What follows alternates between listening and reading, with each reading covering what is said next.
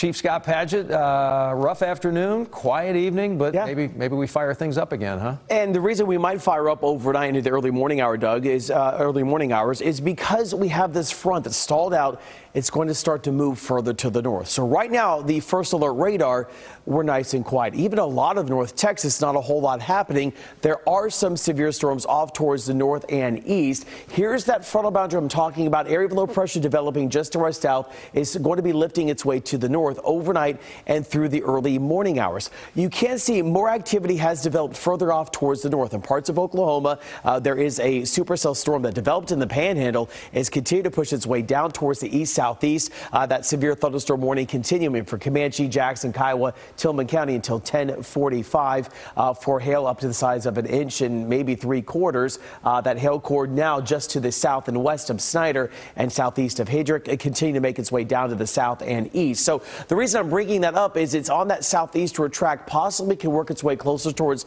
the Red River counties after midnight. You notice the severe thunderstorm watch to the northwest, one down towards the southeast. We're not included in that, but I'm not going to rule out the chance of maybe a severe thunderstorm watch issued closer towards maybe the 1 to 2 o'clock time frame tomorrow morning. And if that happens, of course, we're going to alert you to that fact. First alert futurecast shows that it's initializing relatively well. So there's the storms uh, that I was looking at, possibly near midnight, 1 to 2, pushing its way over the state line, maybe even to the north sides of the Metroplex. So we'll keep our eyes on the first alert radar through the evening hours. Meteorologist Demetrius Brown coming in early, and I'll be here through the night just to make sure that we are keeping you informed and prepared if any severe storms pop up. Uh, 2, 3, 4 o'clock, we might see another complex of storms work its way into parts of North Texas as we go to 3, 4, 5 o'clock time frame tomorrow morning as the front is also lifting its way through. By 6 or 7, it's pushing its way to the east. And then I think we have a strong cap in place and that stabilizes the day. And we're going to be seeing a quieter day on the way. But rain chances 30,